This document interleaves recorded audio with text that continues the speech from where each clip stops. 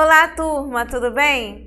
Vamos para mais uma aula de história. E hoje o tema da nossa aula é a família, formação, hábitos, costumes e tradições. Vamos lá ver o que esse tema traz de novo para gente? Vamos ver o que a gente vai ver de costume, de tradição. Vamos ver o que ela vai falar sobre família. Quem aqui tem uma família muito animada? Quem aqui tem aquela família que é grande? Quem aqui tem aquela família é que é pequenininha, mas que ó, é show de bola, é super animada. Então vamos lá para nossa aula de hoje. Vê só. Primeira pergunta para você, aluno, aí em casa. Quem faz parte da sua família? Você conhece todas as pessoas da sua família? Tantas que moram na sua casa, como aquelas que estão distantes, que moram em outra cidade, em outra região, em outro país, não sei. E aí, você conhece todo mundo? Quem são essas pessoas? É tio, tia, avó, avô, bisavó, bisavô, pai, mãe, irmãos. E aí, sua família é grande ou é uma família pequena?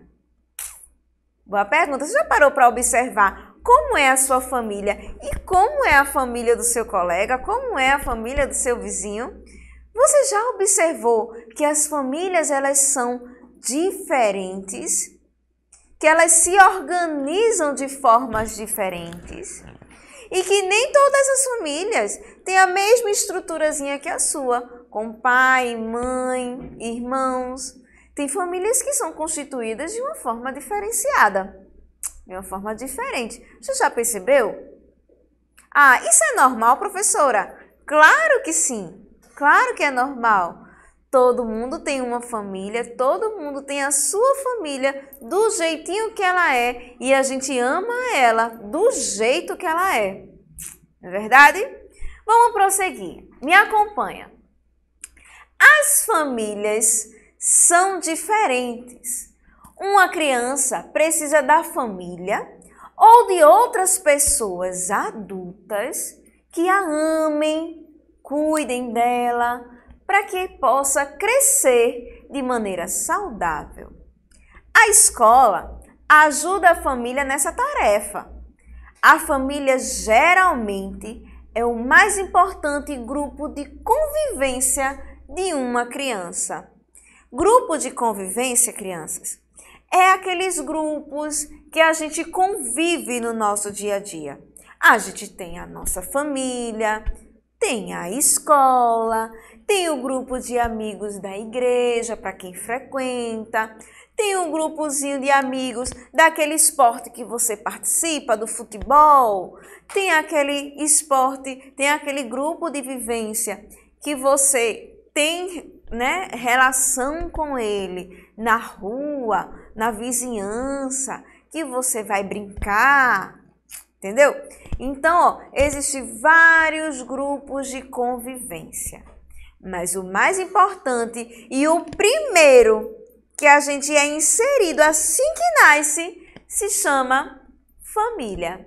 Por isso que ela é o mais importante de todos. E todas as crianças, elas merecem ter uma família que cuidem delas, que a proteja e que a ame, tá bom? As famílias são muito diferentes entre si. Há crianças que moram com a madrasta, com pessoas que não são parentes, mas que a tratam como filhos, nos lares para crianças ou em orfanatos, com outras crianças e com responsáveis por elas. Com o pai e a mãe, só com o pai ou só com a mãe, com um casal de papais, com um casal de mamães, com os avós, com, as avó, com os avós, com outros parentes, com o padrasto e assim vai. Existem vários modelos e várias formas de família diferentes. Mas o interessante e o mais importante que todos nós temos que respeitar. Devemos respeitar. respeitar o outro, respeitar a família do outro. Tá certo? Isso é um dever como cidadão. Dar respeito para receber o respeito. Beleza?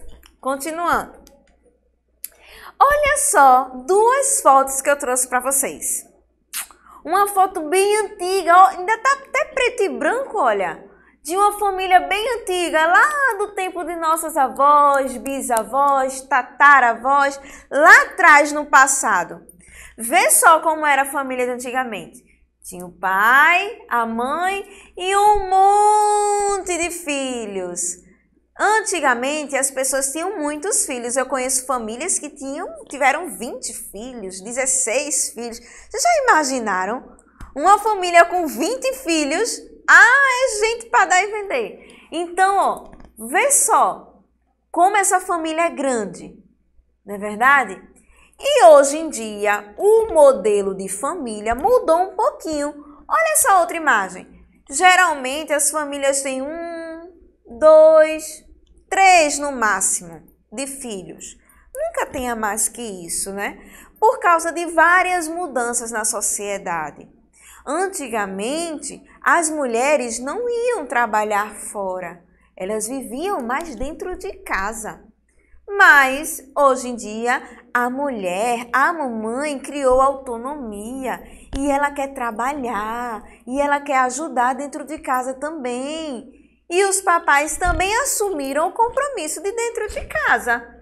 Os papais não só trabalham fora, mas também trabalham dentro de casa, fazem os serviços domésticos, assim como a mamãe. Ou seja, houve a divisão de tarefas igualitária para todo mundo certo?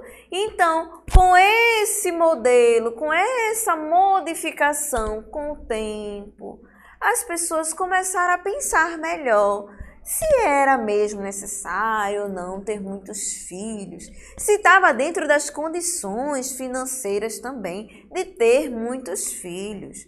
Antes era mais fácil criar, apesar de toda a dificuldade que algumas famílias passavam. Mas se conseguia criar.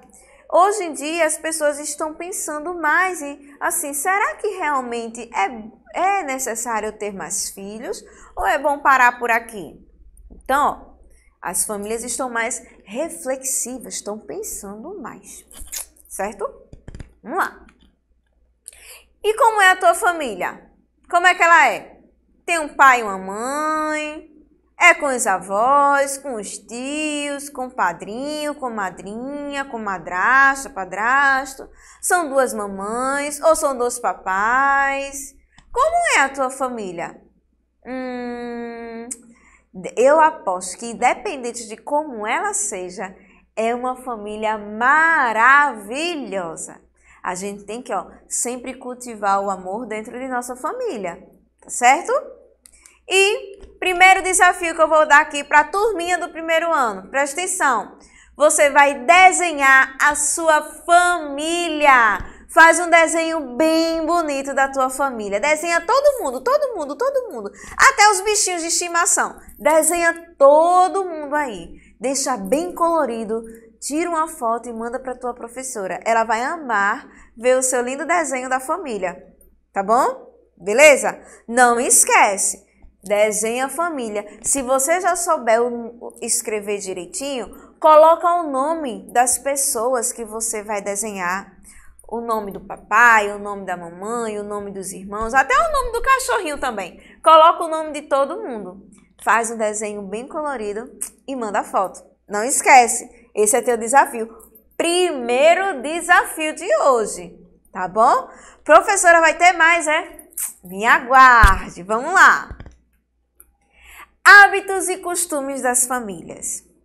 Quem aqui nunca foi para casa da avó em época de São João e ela fez aquelas comidas de milho bem gostosas, feitas naquela panela de barro, feita aquela na fogueira, aquele milho bem assadinho na fogueira. Quem aqui nunca comeu? Quem aqui nunca foi para casa de um parente que tem essas tradições, que tem esses costumes em datas comemorativas?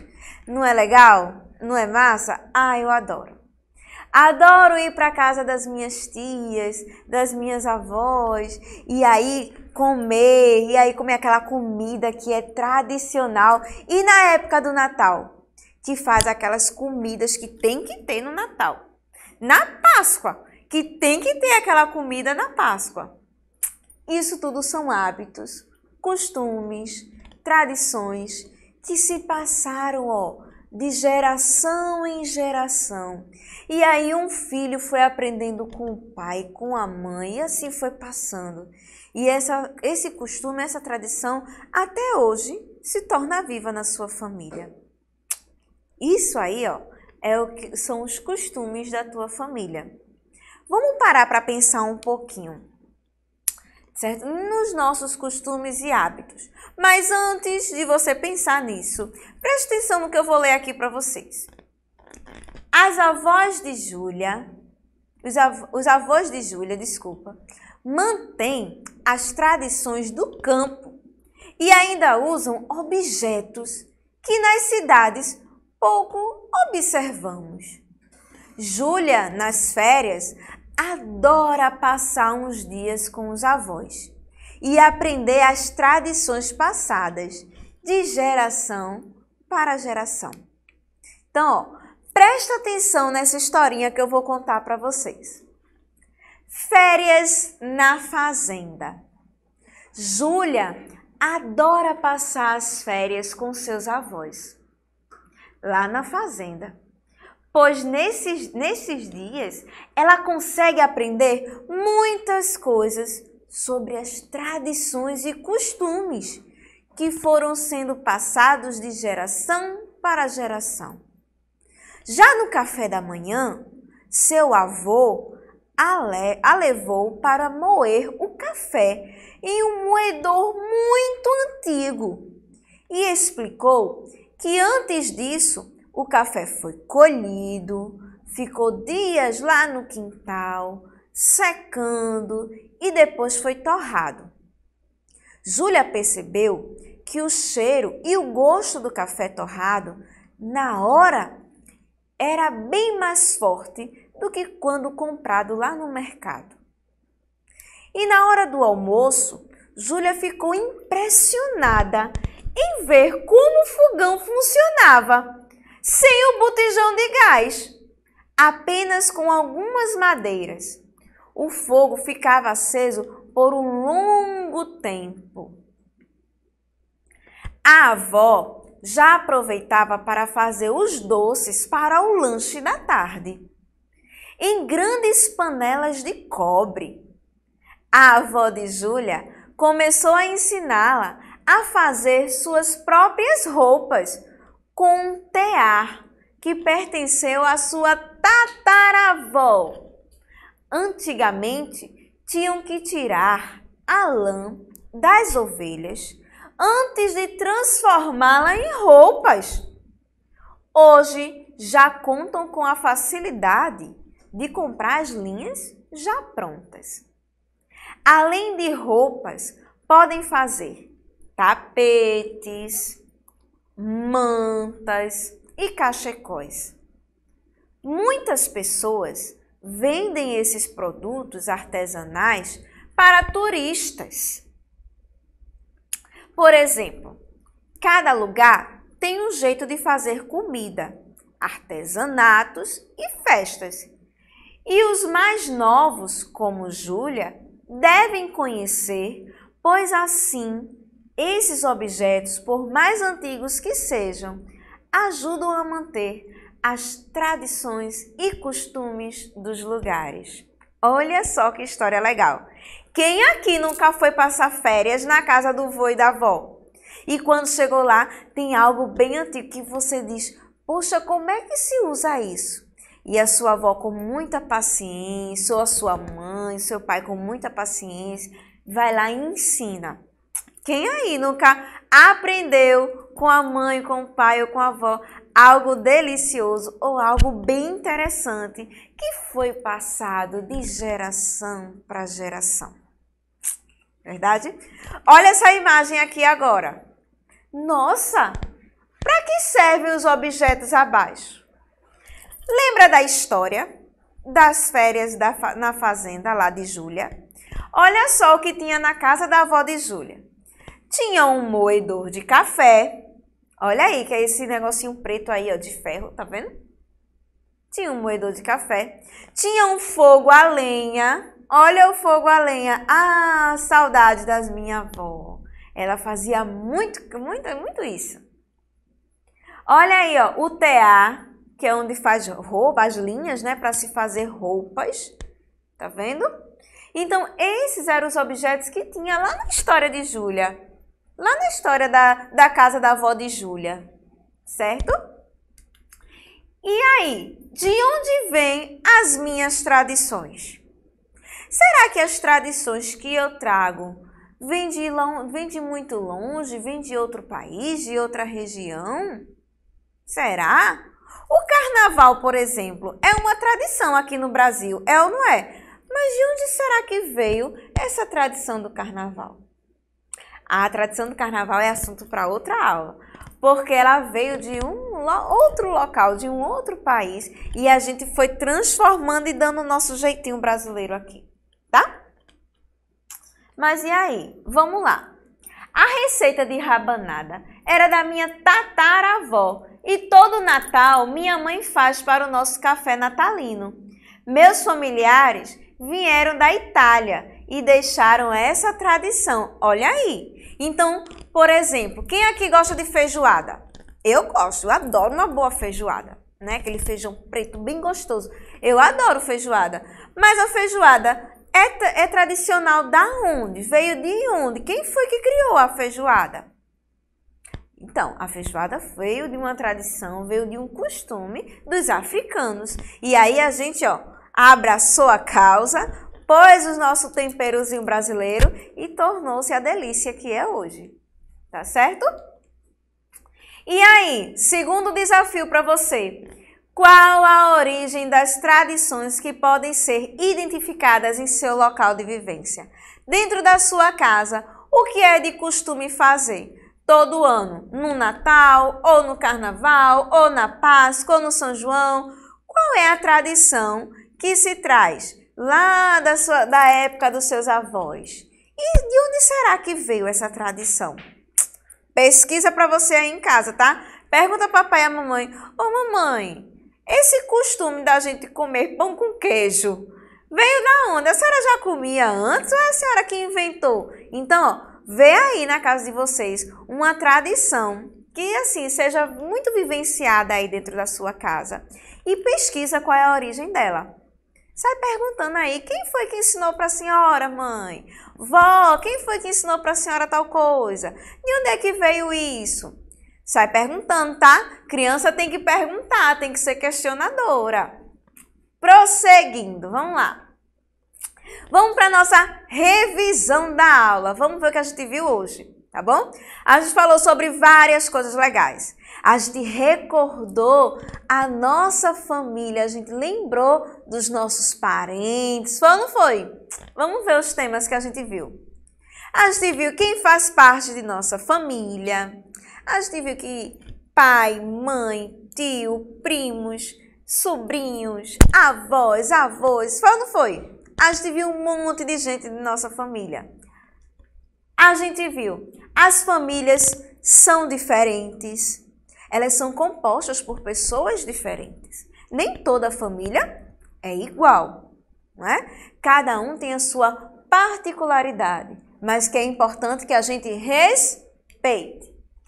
A gente viu a família do passado e a família do presente. Lembra daquela foto preto e branco que a gente viu? De um pai e uma mãe cheio de filhos e depois um casal com uma filha só? Lembram? A gente viu que há essa mudança, não é? Essa mudança de, de constituição da família. Hoje em dia é muito difícil você ver uma família com 20 filhos. É ou não é? É mais difícil. A gente viu de como é a sua família, como ela é formada, se tem pai, mãe, se é com vós, vós, ou só o pai, ou só a mãe, ou dois pais, ou duas mães. A gente viu isso também. Eu coloquei o primeiro desafio para você, que foi desenhar a sua família. Ó, oh, não vai esquecer, tá? Desenha a tua família e coloca o nome deles lá, tá bom? Desenha todo mundo aí da sua casa. Nós vimos os hábitos e costumes da família.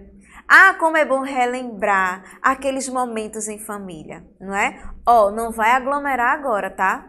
Fica aí na sua casa com quem mora com você os parentes, deixa para vir em outro momento. Não é hora de aglomerar, tá bom? Nós vimos a história das férias na fazenda de Júlia. A gente viu o que a avó dela faz lá e ela ficou curiosa com aquelas coisas que ela usa e que não é muito comum na cidade, nos grandes centros, né?